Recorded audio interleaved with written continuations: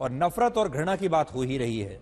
तो हम आपको नफरत और घृणा की आज एक और तस्वीर दिखाएँगे और ये खास तौर पर जो अब हम आपको खबर बताने वाले हैं, ये देश के हर परिवार को खबर देखनी चाहिए, हर नागरिक को देखनी चाहिए। इसमें कोई धर्म नहीं है और इसमें कोई राजनीति नहीं है। ये किसी के साथ भी हो सकता है, क्योंकि आज हम आपको ये बताने वाले हैं कि आटे में थूक और जूस में यूरिन मिलाने के पीछे आखिर कौन सी मानसिकता हो सकती है? और हमारे देश में खाने में थूक और यूरिन मिलाने की ऐसी घटनाएँ लगातार बढ़ क्यों रही हैं? ये कौन लोग हैं जो इस तरह का काम कर रहे हैं? किस चीज़ का बदला लेना चाहते हैं? और इनके दिमाग में इतनी विकृतियाँ कैसे आ रही हैं? अब एक नई घटना सुनिए, जिसे सुनने के बाद आप हैरान हो जाएँगे।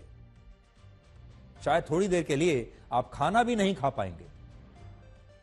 दिल्ली के पास गाजियाबाद में गाजियाबाद में पुलिस ने एक 32 साल की मेड को गिरफ़्तार किया है। एक महिला जो एक घर में काम करती थी, उस मेड को गिरफ़्तार किया है और यह मेड आटे में अपना यूरिन मिलाकर उससे रोटियाँ बनाती थी और जिस घर में यह महिला काम करती थी, ये उस घर, उस परिवार के सभी सदस्यों को धीरे धीरे जान से मारना चाहती थी।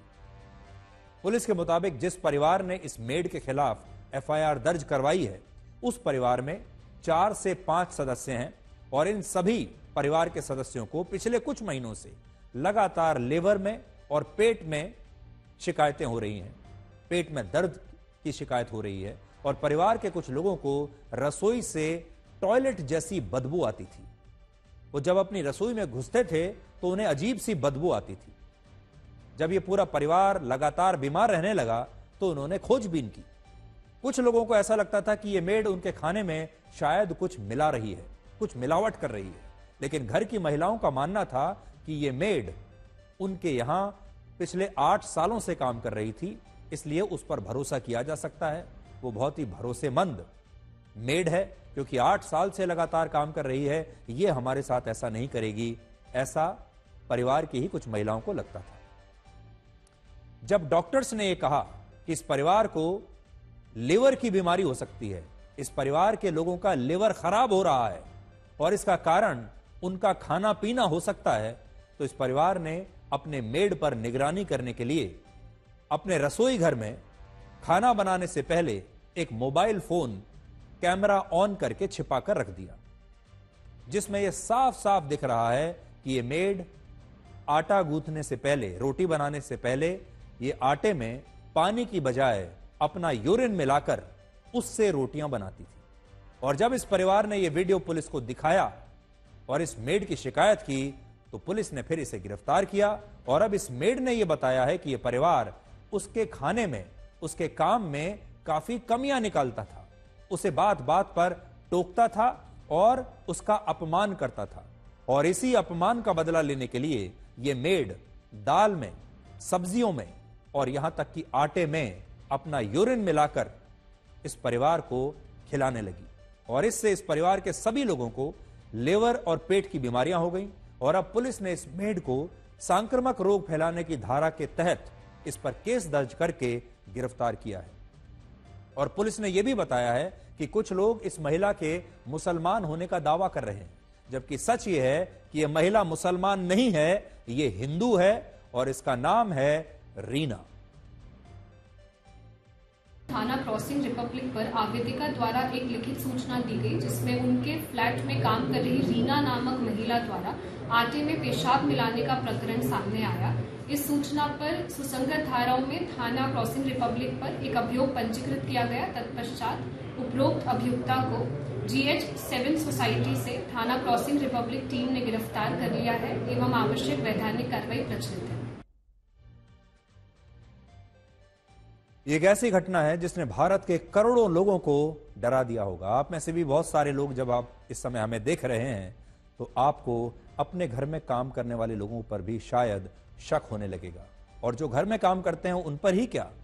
जहाँ जहाँ से भी आप खाना मंगाकर खा रहे हैं, आपको उन सब पर शक होने लगेगा। और अब लोग ये पूछ रहे हैं कि आखिर एक मेड ऐसा कैसे कर सकती है और क्या खाने में यूरिन और थूक मिलाने वाले लोग मानसिक रूप से बीमार नहीं है। और ये सारे मानसिक रूप से बीमार लोग, विकृत मानसिकता वाले लोग इसी समाज में रह रहे हैं, इसी समाज में खुलेआम घूम रहे हैं, हमारे ही आसपास खाना बना रहे हैं, और ना जाने हम में से कितने लोगों को इसी तरह का मिलावटी खाना खिला भी रहे होंगे। अगर इस मेड को लगता था कि इस परिवार में उसका अपमान हो रहा है और यहाँ उसकी कोई इज़्ज़त नहीं तो उसे यहाँ से काम छोड़ देना चाहिए था। इस परिवार से अपने मन की बात कर लेनी चाहिए थी। अगर इसे उस परिवार का अपमान भी करना था तो कर लेना चाहिए था। लेकिन उसने ऐसा न करके इस परिवार के खाने में यूरिन मिलाना शुरू कर दिया, जो सबसे बड़ा विश्वासघात है, जो घृणा से भरा हुआ विश्वासघात है, जो इंसानियत के खिलाफ है, जिससे आप ये समझ सकते हैं कि इस महिला के मन में इस परिवार के लिए कितनी नफरत होगी और कितनी घृणा होगी। और सोचिए, इस परिवार के साथ आठ साल से कोई एक ऐसा व्यक्ति रह रहा है जो इस परिवार से इतनी नफरत करता है और कितनी घृणा करता है। और इस परिवार को पता ही नहीं। पिछले महीने इसी गाजियाबाद में पुलिस ने एक जूस वाले को भी गिरफ़्तार किया था उसकी दुकान से। और यह जूस वाला जूस में यूरिन मिलाकर अपनी दुकान पर बेच रहा था। और पुलिस को इसकी दुकान से एक लीटर यूरिन बरामद हुआ। और यह व्यक्ति धर्म की नफरत के कारण ऐसा कर रहा था। उसकी तस्वीरें भी आप देख सकते हैं। ये तब तस्वीरें सामने आई थी। अब आप सोच लीजिए, आप जूस पीने के लिए जाते हैं, कितने भरोसे के साथ जाते हैं? और अगर उस जूस में, जूस वाला कोई भी चीज़ ऐसी मिलाकर दे रहा है, आपको कैसे पता चलेगा?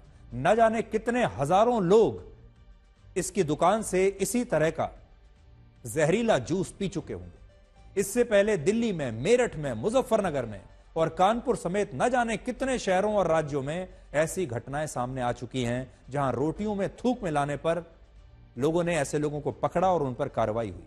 और शायद यही कारण है कि अब उत्तर प्रदेश में एक नया कानून आने वाला है और इस नए कानून में खाने में थूक और यूरिन मिलाने को एक गैर जमानती अपराध माना जाएगा और ऐसे मामलों में आरोपियों के खिलाफ अधिकतम 10 साल की सजा का प्रावधान होगा।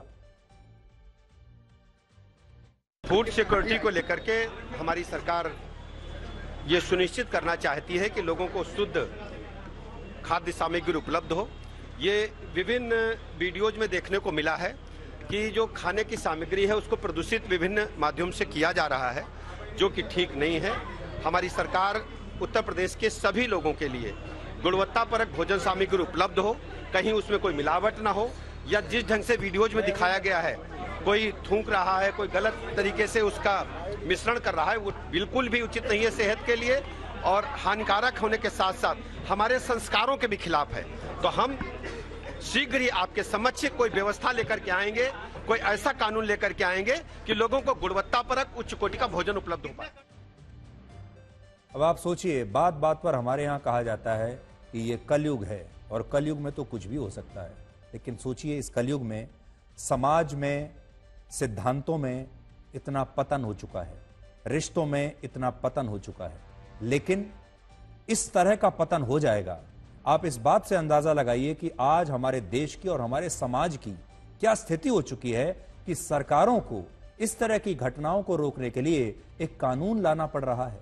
क्योंकि इस तरह की घटनाएँ इतनी बढ़ गई हैं कि सरकार इसे लेकर कानून बना रही है, एक अलग धारा इस पर बनाई जाएगी और अब इस कानून के तहत भी अपराधियों को पकड़ा जाएगा। इससे आप सोच सकते हैं कि हमारा समाज किस तरफ़ जा रहा है।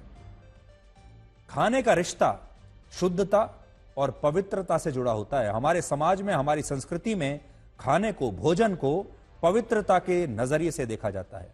इसे पवित्र माना जाता है। इसे विश्वास और भरोसे के साथ खाया जाता है। जब आप किसी के घर जाते हैं या कहीं भी, किसी रेस्टोरेंट में, किसी सड़क पर किसी दुकान पर आप कहीं खाना खाने के लिए जाते हैं, पैसा देकर भी किसी होटल में भी जाते हैं तो विश्वास के साथ जाते हैं, भरोसे के साथ जाते हैं और आप यही सोचते हैं कि आपको जो खाना, जो भोजन दिया जा रहा है, वो शुद्ध होगा, वो साफ़ होगा और उसमें धोखेबाजी नहीं होगी। ज़्यादा से ज़्यादा आप इतनी उम्मीद कर लेते हैं कि हो सकता है इसमें घटिया क्वालिटी का घी इस्तेमाल किया होगा, घटिया क्वालिटी का तेल इस्तेमाल किया गया होगा या कुछ घटिया क्वालिटी का सामान इसमें डाला गया होगा ताकि वो दुकानदार भी अपना मुनाफा आपके ऊपर कमा सके। लेकिन ये उम्मीद आप कभी नहीं करते कि उस सामान में यूरिन मिला होगा खाने में, या उसमें किसी ने थूक मिला दिया होगा। लेकिन अब भोजन के साथ शुद्धता और पवित्रता का यह रिश्ता खत्म होता जा रहा है और लोग अपनी नफरत, अपनी घृणा, अपनी नाराज़गी और अपनी कुंठा को निकालने के लिए इस भोजन का दुरुपयोग कर रहे हैं और उस विश्वास को तोड़ रहे हैं, जिस विश्वास के साथ हम ये भोजन करते हैं। और इसमें थूक और यूरिन की मिलावट की जा रही है। खाने की शुद्धता और पवित्रता को भंग करके लोगों को सबसे बड़ा धोखा दिया जा रहा है। और ये बात स्वीकार्य बिल्कुल नहीं है। ये बात चिंता में डालने वाली बात है कि हमारा समाज और हमारे देश में रहने वाले लोग अब किस प्रकार से विश्वासघात करने लगे हैं। आज आप दोबारा से ये सोचेंगे कि जब आप ऑनलाइन खाना ऑर्डर करते हैं जहाँ आपको ये पता भी नहीं होता कि आपका वो खाना किसने बनाया है, किसने पैक किया है, कौन उसे लेकर आपके घर तक आया है और रास्ते में उस खाने के साथ क्या किया गया होगा। आपके रसोई घर में कौन वो काम, आदमी है, कौन वो व्यक्ति है, मेड है या डोमेस्टिक हेल्प है जो आपका खाना बना रहा है और वो पीछे से क्या करता होगा।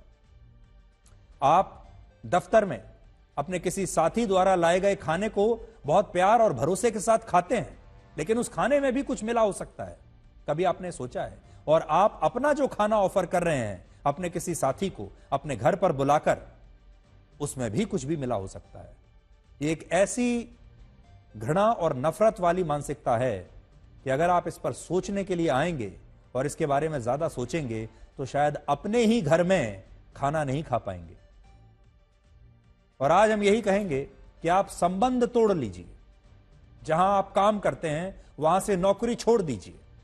जिससे आपको परेशानी है व्यक्ति से उससे लड़ लीजिए, उसका अपमान कर लीजिए, उस पर अपना पूरा गुस्सा उतार लीजिए। लेकिन किसी के साथ भी ऐसा विश्वासघात मत करिए, क्योंकि ये इंसानियत के खिलाफ है।